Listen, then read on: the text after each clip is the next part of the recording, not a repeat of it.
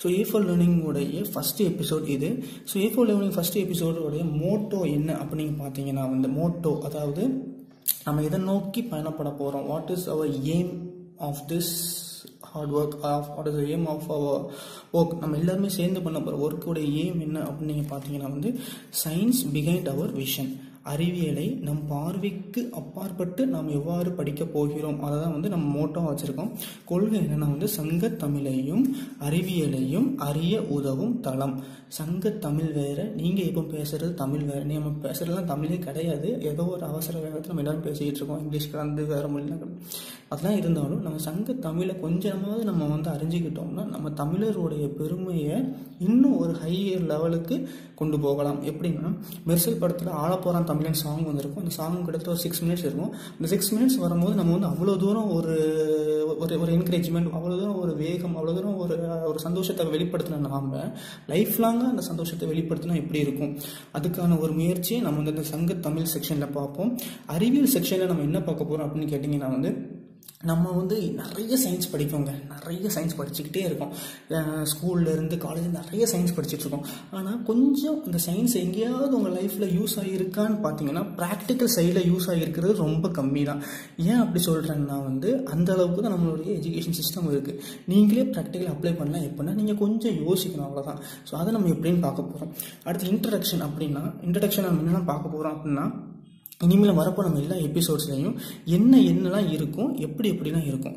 So இன்னும் எல்லா எபிசோட்ஸ்லையும் first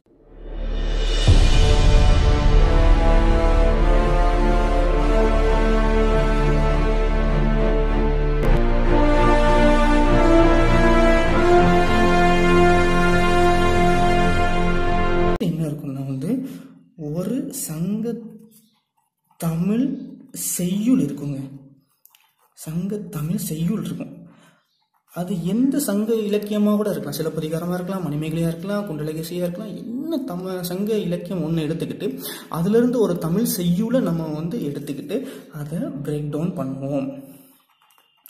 break down பண்ணுவோம். பிரேக் டவுன் பண்ணி நமக்கு என்னெல்லாம் கிடைக்கும்னா வந்து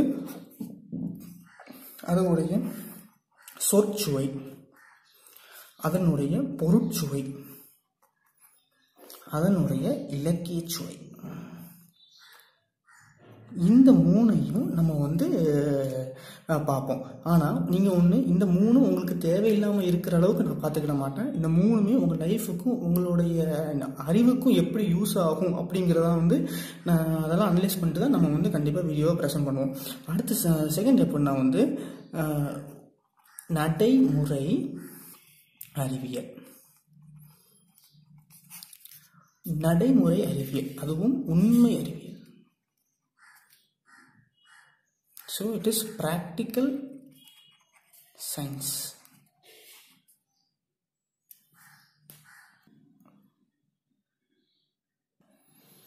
so இதை தான் நம்ம பார்க்க போகிறோம் ஸோ என்னெல்லாம் பார்க்க போகிறோம் சங்க தமிழ் செய்யுள்ள ஒன்று எடுத்து அதோடைய பிரசன்ட் பண்ண போகிறோம் இன்னொன்று வந்து நடைமுறை அறிவியல் அது ப்ராக்டிக்கலாக ஒரு சயின்ஸ் கான்செப்ட்ஸை நம்ம வந்து ஒவ்வொரு எபிசோடும் பார்ப்போம். இந்த சயின்ஸ் கான்செப்ட் உங்களுக்கு கண்டிப்பாக இன்ட்ரெஸ்டிங்காக இருக்கும்.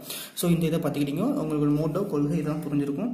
ஸோ உங்களுக்கு இது பிடிச்சிருந்துச்சுன்னா நீங்கள் வந்து என்னுடைய வீடியோஸை லைக் பண்ணிக்கலாம். உங்களுக்கு வந்து சப்ஸ்கிரைப் பண்ணிக்கிட்டு உங்களுடைய அப்டேட்ஸ் என்னோட அப்டேட்ஸ் நீங்கள் வந்து பெறலாம்.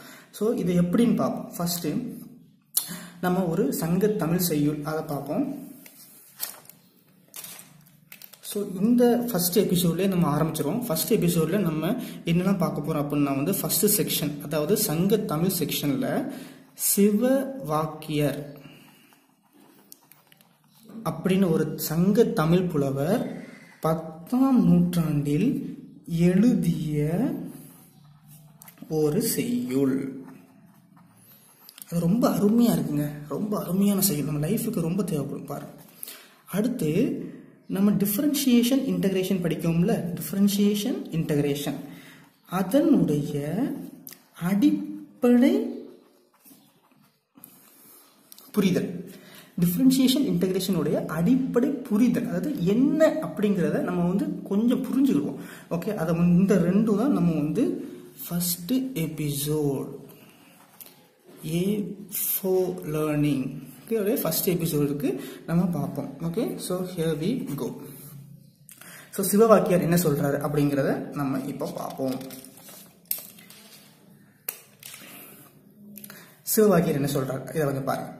கோயிலாவது ஏதடா குளங்களாவது ஏதடா கோயிலும் குளமும் கும்பிடும் குலாமலரே கோயிலும் மனத்துள்ளே குளங்களும் மனத்துள்ளே ஆவதும் அழிவதும் இல்லை இல்லை இல்லையே. சிவவாக்கியம் ஸோ இது என்ன சொல்ல வருது அப்படின்னு கேட்டீங்க. இது வந்து பத்தாம் நூற்றாண்டில் எழுதப்பட்ட ஒரு செய்யுள் சிவவாக்கிய அப்படிங்கிற சங்க தமிழ் புலவர் எழுதின செய்யுள். இவர் இதில் என்ன சொல்ல வாரார் அப்படிங்கிறத அனலைஸ் பண்ணுறதுக்கு முன்னாடி நாம் இப்போ நம்மளோட நவீன அறிவியல் கற்றுக் கொடுக்குற எனர்ஜி அப்படிங்கிறத பற்றி பார்த்துட்டு வந்துடுவோம் எனர்ஜி அப்படின்னா என்ன அப்படின்னு கேட்டிங்கன்னா ability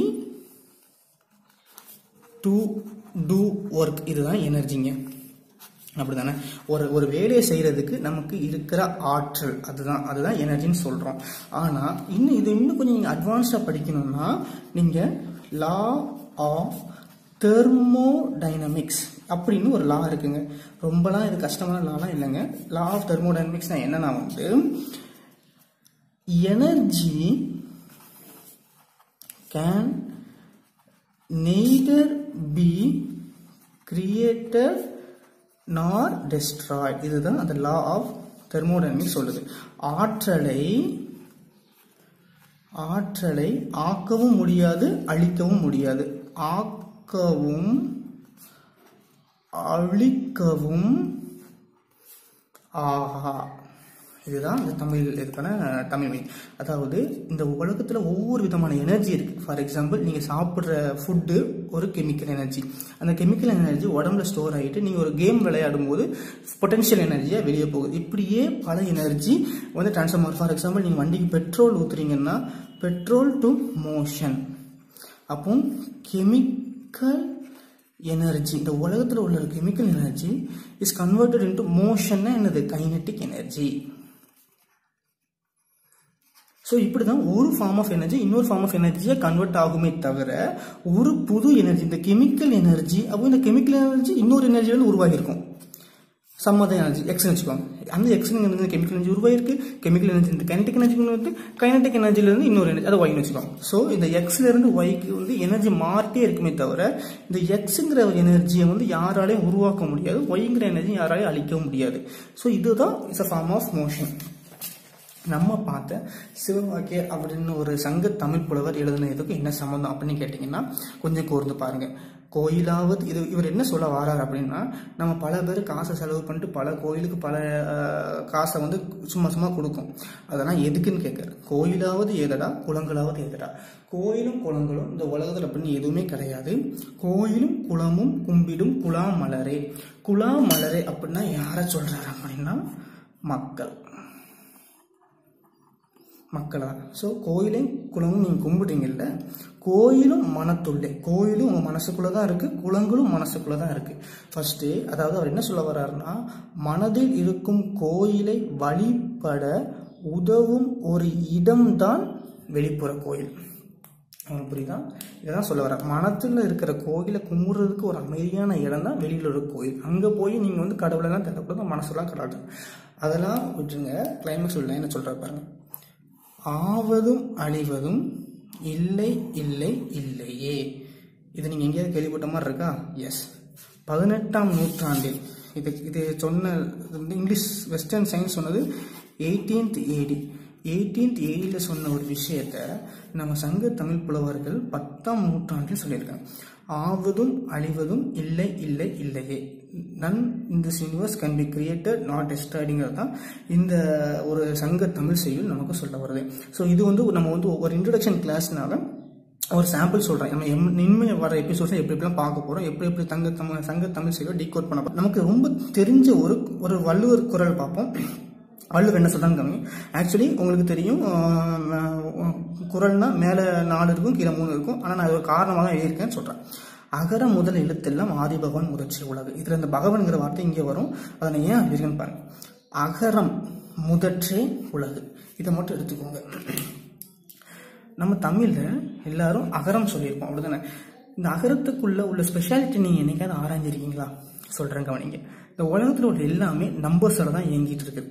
from zero to nine இந்த ஜீரோ டு நைன்கிற நம்பர்ஸை வச்சு நம்ம வந்து இந்த உலகத்தையே வந்து நம்ம இப்போ அனலைஸ் பண்ணலாம். ஃபார் எக்ஸாம்பிள் நீங்கள் பார்க்குற ஒவ்வொரு பொருட்களையும் ஒவ்வொரு நம்பர் சயின்ஸ் இருக்குது ஃபார் எக்ஸாம்பிள் நீங்கள் யூஸ் பண்ணுற பேனோட லென்த்லேருந்து எல்லாத்தையும் நம்பர் யூஸ் பண்ணுறோம் அப்போ அப்பேற்பட்ட ஒரு ஒரு ஒரு ஒரு உலகத்தை ஆட்டி வைக்கிற இந்த மு- எண்கள் நம்ம தமிழ் மொழி அகரத்தில் இருக்குங்க. பார்ப்போமா இப்போ இந்த அகரத்தை எடுத்துக்கோம் இந்த நான் வந்து அகரத்தை எழுதி வச்சுருக்கேன் பாருங்கள் ஸோ இந்த அகரத்தை நம்ம கொஞ்சம் டீகோட் பண்ண போகிறோம் இப்போ இந்த அகரத்தில் ஆல உள்ள ஆக்குள்ள எல்லா நம்பர்ஸும் இருக்கும் பாருங்கள்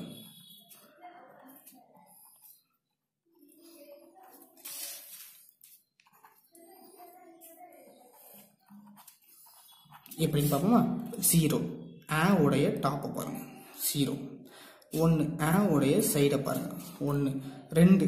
இதுக்கு என்ன பண்ணால் இந்த பேப்பரை லைட்டாக டேர்ன் பண்ணிக்கிட்டீங்கன்னா இந்த இந்த இருக்கு பாருங்க.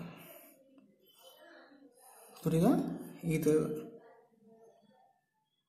Okay so one two two இங்கே போட்டுக்கோங்க.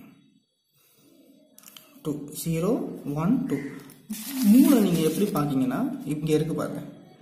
எப்படி? வருதா? மூணுங்கிற நம்பரு ஆக்குள்ளே இருக்கு. நாளை பாருங்கள் இருக்கா? அஞ்சை பார்க்கணுமா? பேப்பரை கொஞ்சம் இப்படி டர்ன் பண்ணிக்கோங்க. இந்த இருக்கு பாருங்க. இருக்கா? அஞ்சு இருக்கா? ஆறு பார்க்கணுமா? அதே பேப்பர் அப்படியே வச்சுக்கிட்டு இந்த பாருங்கள் அடுத்து ஏழு பார்க்கணுமா? இப்படி அந்த பேப்பர் கரெக்டாக டர்ன் பண்ணி வச்சுக்கிட்டு ஏழை பாருங்கள் அது எட்டு பார்க்கணுமா? இந்த ஹோலையும் இந்த ஒரு வட்டத்தையும் சேர்த்திங்கன்னா எட்டு. ஒம்பது பார்க்கணுமா? அந்த பேப்பரை கொஞ்சம் டர்ன் பண்ணிக்கோங்க பத்து பார்க்கணுமா? அதே பேப்பரை இங்கே ஸோ பார்த்தீங்களா இந்த உலகத்தையே கையில் வச்சிருக்கிற மொழியோடைய முதல் எழுத்து தான் நம்மளுடைய அகரம். இதுதான் நம்ம தாய் மொழியோடைய சிறப்பு. ஸோ இந்த மாதிரி தாய்மொழியோடைய சிறப்பை தான் நம்ம வந்து ஒவ்- ஒவ்வொரு வாரமும் ஒவ்வொரு இதை பார்ப்போம். அடுத்து என்ன பார்க்க போகிறோம் அப்படின்னு கேட்டிங்கன்னா கொஞ்சம் ஒரு சயின்ஸ் கான்செப்ட்ஸ் ஸோ இதெல்லாம் என்ன? இது இது- இதை வச்சு நம்ம என்ன பண்ணலாம்? அப்படின்னு கேட்டிங்கன்னா நோ யூஸ் டிஃப்ரென்சியேஷன் இன்டகிரேஷன் எதுக்கு யூஸ் பண்ணுறோம் அப்படின்னு தெரியாமல் ஜஸ்ட் இந்த மாதிரி ஒரு ஃபார்முலாஸை சால்வ் பண்ணிக்கிட்டு நீங்கள் இருந்தீங்கன்னா வந்து உங்களால் ஒரு இதையும் நம்மளால் சாதிக்க முடியாது. ஸோ ஓகே இந்த இதோட யூஸில் சப்போஸ் நான் நீங்கள் வந்து டிஃப்ரென்ஷியேட் இன்டகிரேஷன் ஈக்குவேஷன் ஃபுல்லாக படிச்சிருந்தீங்க அப்படின்னா நான் உங்களோட ஒரு கேள்வி கேட்கேன். இதுக்கு which is the world's biggest differential and integration mission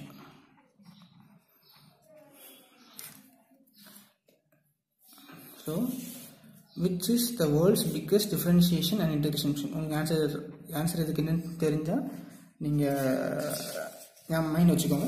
நம்ம முடிச்சுனதை பார்த்துருவோம் ஸோ இது என்ன டிஃப்ரென்சியேஷன் இன்டெகிரேஷன் என்ன? அப்படின்னா ப்ராக்டிக்கலாக நம்ம எப்படி பார்க்கலாம்? நம்ம டைம் சொல்லிடுறோம் எல்லார் வீட்லேயும் பைக் இருக்கும் ரைட் பைக் கண்டிப்பாக உங்கள் வீட்டில் இருக்கும். ஸோ பைக் இருக்கும்போது நீங்கள் என்ன பண்ணுவீங்கன்னா அவசரமாக ஒரு ஒரு இடத்துக்கு போகணும். அதாவது பைக் காலேஜ் வீட்டிலேருந்து காலேஜுக்கு போகணும்னு வச்சுக்கோங்க நீங்கள் என்ன பண்ணுவீங்க? டக்குன்னு பைக்கில் உட்காருவீங்க. இப்போ சாவியை போடுவீங்க. வண்டியை ஸ்டார்ட் பண்ணுவீங்க.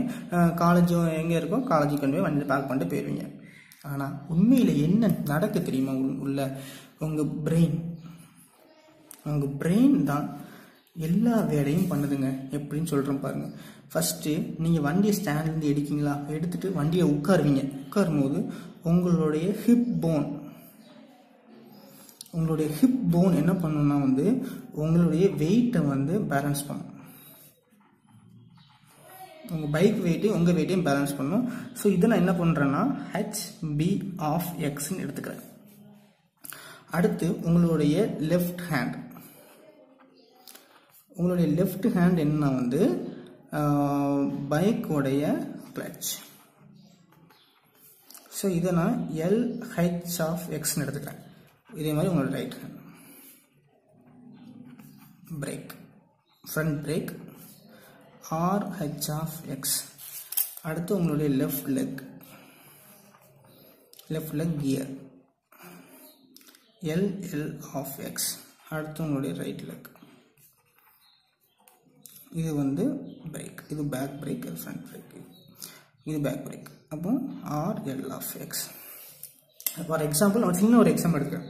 ஸோ இது இது H of X H of எக்ஸுக்கு பதிலாக நம்ம என்ன பண்ணிக்கலாம்னா ஹெச் ஆஃப் டின்னு வச்சுக்கிறோமா இன்னும் ஈஸியாக இருக்கும். ஹெச் ஆஃப் டி அதாவது எல்லாமே டைம் டிபெண்ட் தானே. நீங்கள் வண்டி எப்போ ஆப்ரேட் பண்ணுறீங்க எல்லாமே டைம் ஸோ எல்லா ஆஃப் ஓகே இது டூ இது த்ரீ இது ஃபோர் இது ஃபைவ் இப்போ இப்போ நம்ம என்ன பண்ண போகிறோம் அப்படின்னு கேட்டிங்கன்னா வந்து ஸோ உங்களுடைய பிரெயின் என்ன பண்ணும் அப்படின்னா நீங்கள் வண்டியை ஸ்டார்ட் பண்ண உடனே இந்த ஃபங்க்ஷன்ஸ் எல்லாத்தையுமே ஒரு சேர ஒரு சிங்கிள் ஃபங்க்ஷனாக வைக்கும். அதான் brain function P of X is equal to H P of T plus L H of T L H of T plus R H of T plus L L of T plus R L of T இது எல்லாத்தையுமே உங்கள் brain வந்து first some பண்ணி வச்சுருக்கு. இது எல்லாமே for a particular bike இப்போ நீங்கள் புல்லட் வச்சுருக்கீங்க வச்சுக்கோங்களேன். இந்த நான்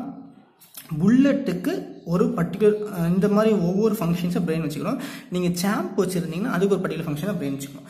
இப்போ இந்த பிரெயின் என்ன பண்ணணும்னா இது எல்லாத்தையும் நீங்கள் வண்டியோடைய ஸ்டார்டிங் டைம் ஸ்டார்டிங் டைம் ஒரு ஒரு பர்டிகுலர் டைம் எக்ஸ் வச்சுக்கிறேன்.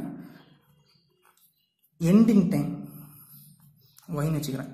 இது எல்லாத்துக்குமே உங்கள் உங்கள் பிரெயின் வந்து ஒரு சம் பண்ணி வச்சுக்கணும். இந்த function H P of T plus up to plus R L of T sum பண்ணி வச்சுக்கணும். இதுக்கு பேர் தாங்க இன்டகிரேஷன் ஸ்மால் ஃபங்க்ஷன்ஸை ஒவ்வொரு இண்டிவிஜுவல் ஆர்கன் செய்கிற ஒவ்வொரு ஃபங்க்ஷன்ஸை சம் பண்ணி ஒரு டோட்டல் ஃபங்க்ஷனை மாற்றுறது தான் integration starting time ending time சரி அடுத்து என்ன கேட்குறீங்க? டிஃப்ரென்சியேஷன் என்னன்னு கேட்குறீங்கல்ல? டிஃப்ரென்சியேஷன் என்னன்னா வந்து நீங்கள் வண்டியில் போயிட்டுருக்கீங்க சம்டைம்ஸ் ஏதாவது ஒரு சின்ன குழந்தை வந்து வண்டிக்கு முன்னாடி வர்ற மாதிரி இருந்துச்சுன்னா நீங்கள் டக்குன்னு ஒரு பிரேக் பிடிப்பீங்க கியரை குறைப்பீங்க எல்லாம் பண்ணுவீங்கல்ல? அந்த இதுதான் டிஃப்ரென்சியேஷன் அதாவது பிரெயின் என்ன பண்ணுன்னா ஒவ்வொரு ஃபங்க்ஷனும் எடுத்துக்கிட்டு இப்போ இது வந்து எனது ஹிப் போன் இது வந்து லெஃப்ட் ஹேண்ட் அப்போ இந்த லெஃப்ட் ஹேண்டும் இப்போ வந்து என்ன பண்ணணும்? ஃபஸ்ட்டு நீங்கள் டக்குன்னு ஒரு இமீடியட்டாக வண்டியை ஸ்டாப் பண்ணணும். பைக்கை ஸ்டாப் பண்ணால் என்ன பண்ணுவீங்க? லெஃப்ட் ஹேண்டை லெஃப்ட் ஹேண்டை கிளச்சை பிடிப்பீங்க. அடுத்து லெஃப்ட் லெக்கை ஸோ லெஃப்ட் லெக்கை கியர் அதை குறைப்பீங்க. ரைட் லெக்கை பிரேக் ஸோ இந்த மூணு ஃபங்க்ஷன் இருக்கா? இந்த மூணு ஃபங்க்ஷன் எல் ஹெச் ஆஃப் டியை நீங்கள் எப்படி சேஞ்ச் பண்ணணும்? எந்த பேராமீட்டருக்கு சேஞ்ச் பண்ணணும்? தட் இஸ் டைம் இதுதான். ஸோ இதை நம்ம வந்து எந்த ரேட்டில் சேஞ்ச் பண்ணணுங்கிறது தான் வந்து டிஃப்ரென்ஷியேஷன் ஃபார் எக்ஸாம்பிள் நீங்கள் கிளச்சை வந்து என்ன ஸ்பீடில் பிடிக்கணும்? டக்குன்னு பிடிக்கணுமா? இல்லை ஸ்லோவாக பிடிக்கணுமா? கியரை எவ்வளவு கியராக குறைக்கும் இப்போ நீங்கள் ஃபோர்த் கியரில் போயிட்டு இருக்கீங்கன்னா செகண்ட் கியருக்கு வந்தால் போதுமா? ஃபஸ்ட் கியருக்கு வந்தால் போதுமா? இல்லை தேர்ட் கியருக்கு வந்தால் போதுமா? அதை அதை ஃபிக்ஸ் பண்ணணும். பிரேக் வந்து எவ்வளோ ஃபோர்ஸாக பிரேக்கை ப்ரெஸ் பண்ணணும்? இது எல்லாமே டிஃப்ரென்ஷியேஷன் தாங்க. இந்த கியரை நீங்கள் என்ன ரேட் ஆஃப் இல்லை சேஞ்ச் பண்ணணும்? பிரேக் என்ன ரேட் ஆஃப் சேஞ்ச் ஆஃப் பண்ணணும்? இதுதான் வந்து differentiation இன்டகிரேஷனுடைய basics so this is for for first episode so இன்றைக்கி நம்ம என்னெல்லாம் பார்த்தோங்கிறத நீங்கள் ஒரு அனலைஸ் பண்ணியிருப்பீங்க ஸோ இதுதான் நம்ம வந்து எல்லா வீக்ஸும் பார்க்க போகிறோம் ஸோ எல்லா வீக்ஸும் நம்ம என்ன பார்க்க போகிறோம் அப்படிங்கிறத இன்றைக்கி ஒரு சின்ன ஒரு ஒரு எக்ஸாம்பிள் மூலமாக நான் வந்து நம்ம எல்லோரும் பார்த்தோம். ஸோ உங்களை சூன் நான் வந்து நெக்ஸ்ட் வீடியோவில் வந்து உங்களை நான் மீட் பண்ணுறேன் so that's it for all.